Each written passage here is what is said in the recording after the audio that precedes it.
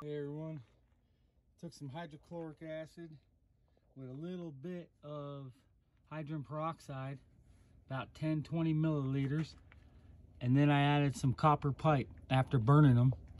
Throw them in there for about three days. Here's day three result. Now I'm gonna pull that copper out and add my gold pins. And it should take up to about a week, maybe longer to pull out the rest of the copper off of the gold pins I got.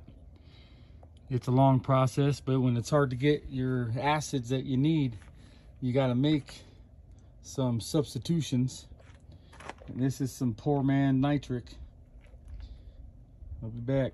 I have taken out my copper pieces and added all my gold pin, well, not all of them. I added about a third of the gold pins I have.